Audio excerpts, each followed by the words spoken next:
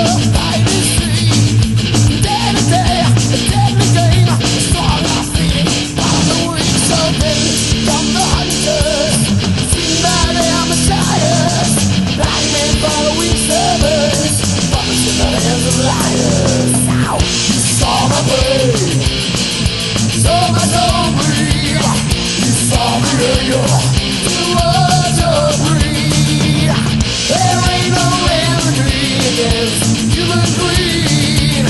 Why do you search